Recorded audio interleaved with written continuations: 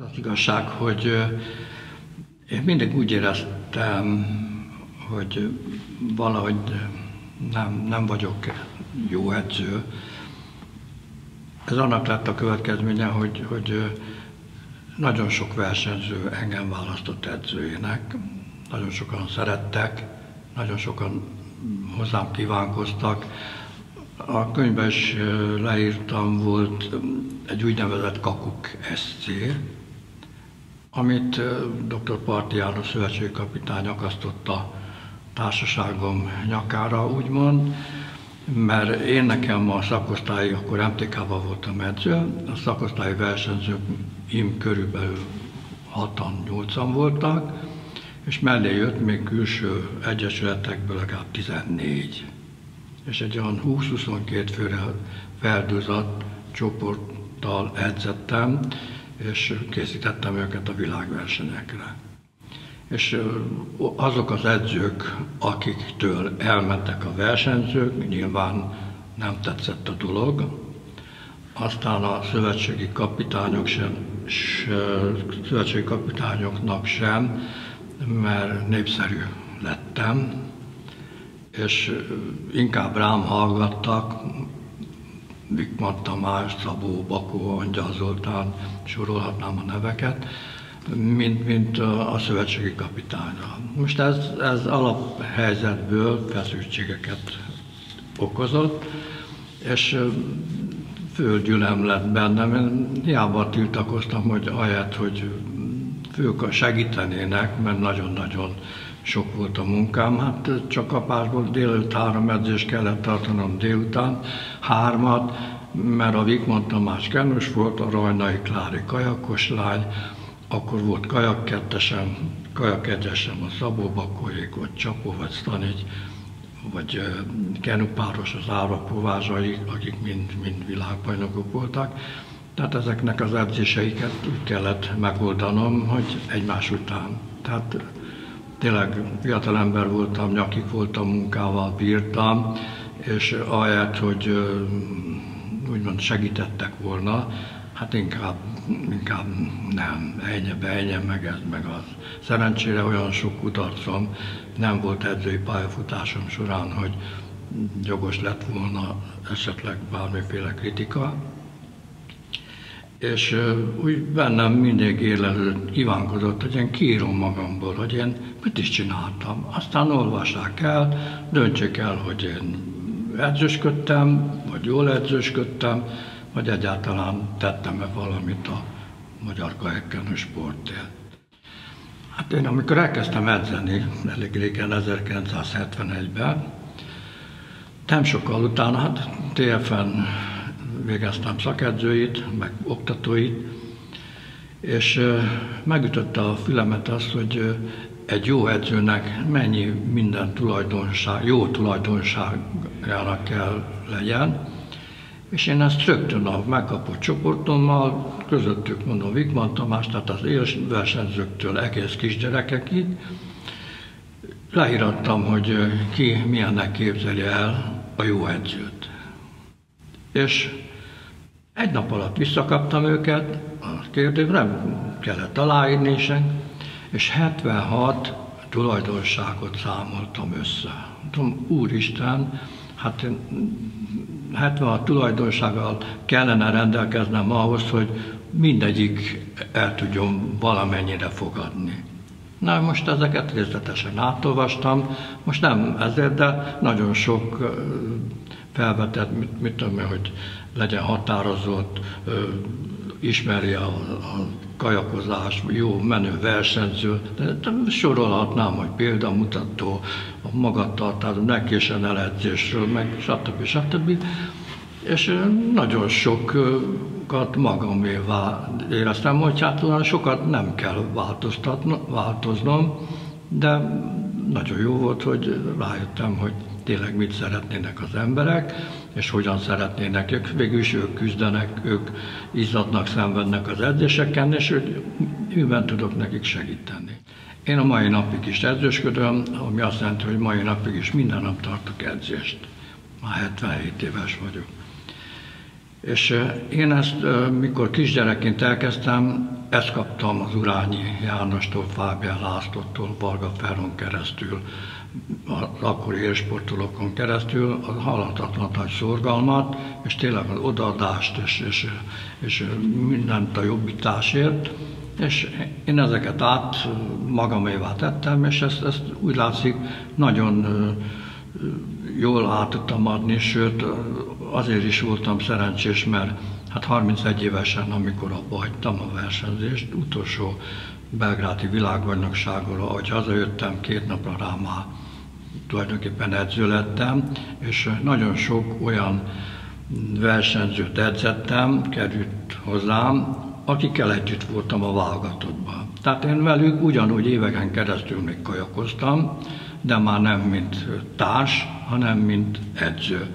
Most nyilván, hogy én sokkal jobban értettem, éreztem, láttam, hogy mik a hibák, meg hogy mit lehetne segíteni és hogyan. És tőlem nyilván, hogy elfogadták. Más egy zúgó motorcsónakból messziről oda kiabál egy edző, hogy nyúj előre, vagy engedd le a vállat, vagy ott vagyok mellette kajakba, és akkor megbeszéljük, mint én is így csinálnám, vagy csináltam, meg te is jó csinálod, meg csinálhatod, és akkor, akkor így a kontaktus a, a, nagyon könnyen, egyszerűen összejött. És bíztunk egymásban, és hát ehhez meg a nagy szerencse kell, hogy, hogy jöjjenek az eredmények is. És hogyha azok jöttek, akkor mindenféle edzéselmélet, mindenféle anyag ült, és hozta sikereket. Én nem kajakos akartam lenni, eszembe se jutott, én focista. Pontosan azért, mert a Megyeri stadion mellett laktam 60-80 méterre, a Megyeri stadion és a Újpesti Vágóid, és utána az első ház, ott laktam. Éjjel-nappal a foci stadionban voltam, labdaszedőként akár. Na most öt, öten voltunk testvérek, és sajnos a, a, a nővérem az már két hónapos korában meghalt, az egyik bátyám az 15 éves korában, és mind, mind szörnyű tragédiák, ilyen felrobbant szegény. Édesanyám 7 éves koromban Dunába fulladt a római partnál.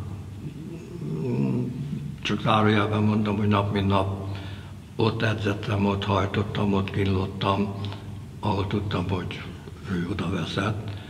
És ez mindig, azon a részen mindig, mindig kaptam egy impulzust, egy, egy lökést. Édesapámat meg 56-ban előtték házunktól, a kapunktól 10 méterre ott voltam. Tehát sok-sok tragédia, és hát az egy, akkor már kajakoztam, mert az édesapám a két bátyámat úgy engedte kajakozni, hogyha kicsit is viszitek. És én voltam a kicsi, és akkor a UTE kajakkenő szakosztály, amivel Újpesten voltunk, a római parton a Tungstram egyik üdülőházában volt, és kompa kellett megyerről átmenni római partra, és onnan vissza, és akkor így a két bátyám vitt hozott, és akkor ott ismerkedtem meg a Urányi, meg a Fábián Öcsi bácsival, Öcsi bácsi. És hát így, így szerettem meg. Na most végülis 56-ban hárman maradtunk Kárván, a bátyám, hugom meg én. Senki nem volt, aki nekünk segített volna, és a szakosztály volt az egyetlen. A versenyző társak, vagy edző társak, tényleg annyi, el is érzékenyülök, annyi, annyi jót adtak, hogy ez magamévá tettem. Tehát segíteni, másiknak segíteni, minden vonatkozásban, akár a hajót megfogni, levinni a stékre, eltörölni neki, és ezt például Varga Feró bácsit muszáj megemlítenem. Ő, akármilyen én voltam a kis ürge kisgyerek, jött nekem segíteni eltörölni a hajót, elmosni, mert régen fahajók voltak, muszáj volt eltörölni, mert vizesen akkor szétrohadt. És Urányi Ancsi, mindenki, hát tényleg saját gyereküknek tekintettek tulajdonképpen társ, társuknak, testvérüknek. És akkor így szép lassan a három gyerek, a gyerekek voltunk, nem karoltunk el, és akkor megragadtunk a kajaksportban. Fábián öcsi kitalálta, hogy evezünk ellenállással. Mai napig is szoktak ki, mit rak egy teniszlabdát, vagy csak egy gúrnit a hajóra, hogy nagyobb ellenállással teljesítse a távot. És mi kitaláltuk, hogy a, a kormány, tehát a víz alatti részre, hogy ne lássa senki más egyesület, a kormány lapátra ilyen csipesszerűen két fémlemezt felerősítettünk csavarral. Tehát én csináltam meg, én meg apám fémmentő volt, meg én szerszámkészítő. Na és magunknak a tímár, a Pisti, szegény is meghalt, már tűzoltó parancsnok volt velünk világbajnok, a Fábiánnak párosban, velem négyesben, és fölszereltük ezt a féket, és így eveztünk egy-két napig, nagyon jó volt, nehéz volt vele haladni, és a Granák István volt a szövetségi kapitányunk, meg edzőnk, akkor, akkor minden edzést a válogatottal végeztünk, tehát nem volt, hogy a szakosztályban két edzés válogatottnál négy, dél nappal, dél, délután válogatott edzések voltak. És Hát tudtuk, hogy most résztávos edzés lesz, tehát négy perceket, mint tudom, 5 négy percet, vagy 5 egy kilométert kell majd hajtani, és hogy fékkel. És a Fábián szólt nekem, hogy vegyük le mi a milyenkét, és csak a tímár hagyja, tehát maradjon rajta, és akkor így indultunk el.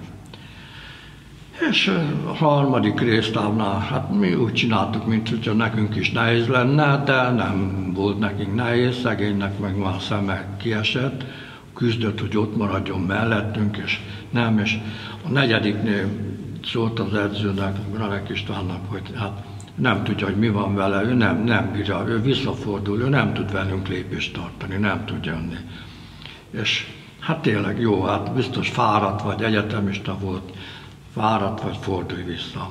Hát mi meg vidáman, vigyorogva fölmentünk a Lupa-szigetig, teljesítettük a távot, jöttünk lefelé, és nem volt a tímán, a húzózkodó alatt, hát hogy valami baja van, ő olyan gyengének érzi magát, hát még húzózkodik akkor. És nagyon el volt kenődve.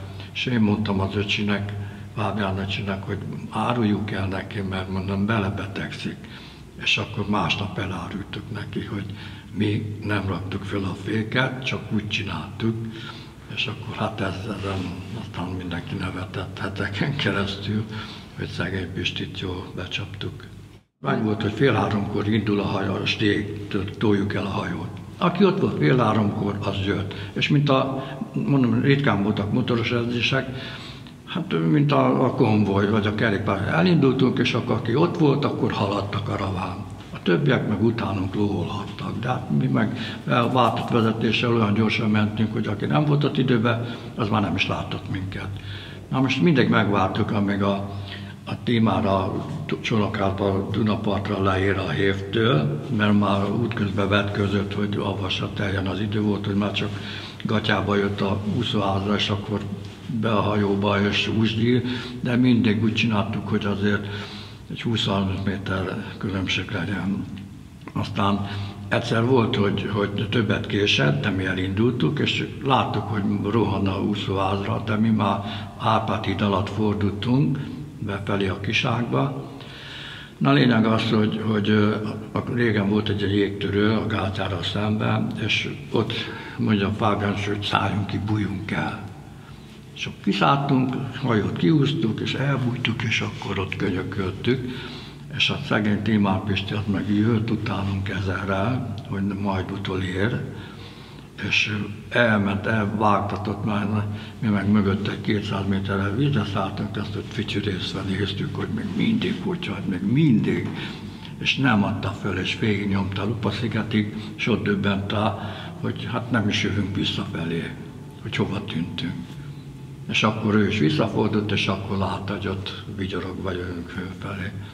Az, ahogy az urányian csevezett, az ő kura, az őt megelőző kura, tehát egész már háború előtti időszakban, és mindig, hát már a Helsinki olimpia 52 vagy 48-as land, tehát mindenki őt, őt szerette volna utánozni. Hát mindig is mondtuk, hogy mint a órás, hát ó, precízen nevezett, könnyen lekövethetően. Úgyhogy, és annyira, annyira, annyira nem éreztette velünk, hogy ő, tudom én, kicsoda vagy, micsoda vagy. Én nekem is a tonateremben, mikor először találkoztak, hogy ő az Urányi János. Hát, és hát jó van, Urányi, hát akkor még nem tudtam, hogy ki. És aztán tényleg, tényleg szegény nagy-nagy sokára indult benne az eredményesség, hát az 56-os Melbourne olimpiával, aztán a prágai világbajnokságban, Gantban volt Európa bajnokság 57-ben, érdekes mód, ott 500-on nyertek, az olimpián tízezren, Prágában a világbajnokságon meg ezren. Tehát mind a három számban nyertek egyet-egyet, de ismételni nem tudtak. De aztán volt, a Varga Feró bácsival ment az Urányi, és kizárták őket. Tehát olyan rajta maradt, hogy pekhes versenyző, és ezért is egy kicsit úgy, úgy, úgy tisztelték, nem azt mondom, hogy sajnálták, de valahogy mindenki úgy volt vele, hogy szegény már megérdemelte volna, vagy megérdemelné, és ezért volt olyan nagy-nagy diadal, hát ezért is, hogy, hogy, hogy megnyerték az olimpiát. Az, hogy önök egy hajóba ültek, azért is érdekes, mert ugye Urányi János akkor már egy ideje csak a csónaképítő műhelyben dolgozott. Igen, nagyon-nagyon ritkán egyszer-egyszer szép időben vizetett egy egyesre, és elment evezni, de nem, de nem nagyon evezett, tehát leállt tulajdonképpen teljesen. És úgy látszik, nosztalgiázott, és ezért kért meg engem, hogy, hogy menjek ki vele páros. Tehát biztos, hogy valamire készült. Ő Tatán az edzőtáborban, mert hogy együtt szoktunk lenni egy szobába, fájlalta a térdét. Hát egy csontos ember volt, mindig is, és bizony elég sokat kajakozott, és mondogatta nekem, simogatta a térdét, hogy hát kisülke azt mondja, figyelj oda a, a, a térdedre, mert, mert az van a kajakosoknak, az lóg ki, azt fújja a szél, és az nincs védve, és nehogy, nehogy fájjon neked is, mint, mint nekem, mert most akkor neki fájt.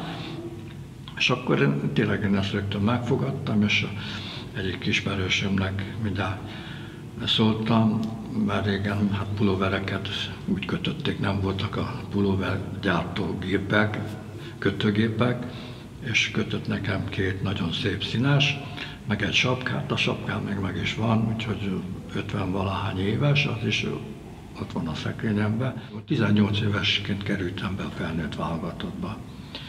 És 31 voltam, mikor felnőtt válogatottként abba hagytam. És eh, akkor régen úgy volt, hogy a válogatottban hát tulajdonképpen három edző volt, egy női edző, egy kennos edző, meg egy férfi. Hát edzőtáborokban biztos akár de olimpiára menet is, vagy világversenyeken is, mindig csak három edző. Most csak úgy érzem meg, hogy én nem tudom, hogy mondjuk a Rio olimpián, de inkább 20 felé volt az edzői létszám, mint 10. Régen nem ez Tehát régen, aki, aki válogatott edző tudott lenni, az, az ugyanúgy edzette a lányokat is, ha kellett, a kenusokat is, meg a, a férfi kajakosokat is. És a, a Vikman Tamás, mint kenus, úgy került hozzám, hogy a Vörösmeter egyetértés megkezdtem el az edzősködést, mégpedig Bako Zoltán meg Angyal Zoltán, ahogy említettem, hogy hazértünk a belgrádi világbajnokságon, másnap, két napra rá a csónakházba ott unatkoztam, a Óbudán, ők meg eveztek kajakkal, és akkor kérdezték, hogy mi van, mit puslakodsz. Hát mondom, beadtam a felmondó levelemet, abba hagyom a versenyzést. Hát ez is egy történet, hogy miért. Ez is az egyik nagy életkudarcom, egyike, hogy abba kellett hagynom. És gyere áthoznánk edzőnek. Nem, hogy, hogy, hát, hát hogy az ő edzők a Kemecse Imre, Szegedre költözik, meg Szegedi Egyetemre fog járni, meg hát doktorátusi címre ment, és edző nélkül maradtak. Tehát a Szegedről ilyen távirányítású edzős kötés az elég nehézkes volt. Mondom, semmi gond. Átmentem hozzájuk, és egy héten belül az edzőjük lettem.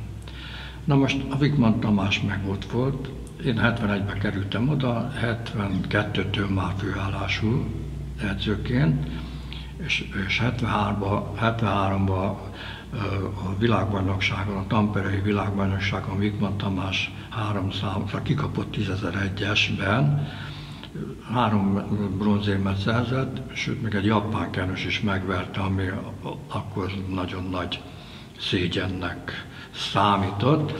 Lényeg az, hogy egy kudarcos év után én ott voltam, edzőtársa is voltam, hát a válogatottban együtt készültünk több világversenyre, és akkor elmentem vele kajakkal, mert akkor mondom, csoportokat is úgy edzettem, hol motorosra, de inkább kajakkal, és beszélgettünk, és akkor megkért, hogy hát vállaljam őt el, menjek vele sűrűbben, szóljak rá, és csináljak neki edzéstervet.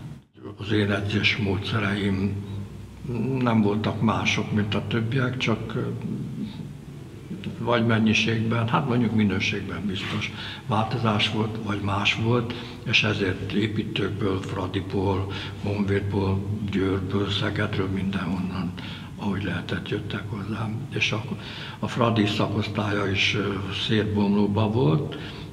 Most találkoztam Rasztoszki Jánossal, ő is Fradi versenyző volt, ő is a Kakukeszé oszlopos tagja lett nálam, és amire vele kapcsolatban most mondom, hogy büszke vagyok rá, hogy, nagyon-nagyon jó edző, sőt, egy nagyon-nagyon eredményes szakosztályt alapító edző vált, és úgy érzem, egy pici-pici részem nekem is benne van.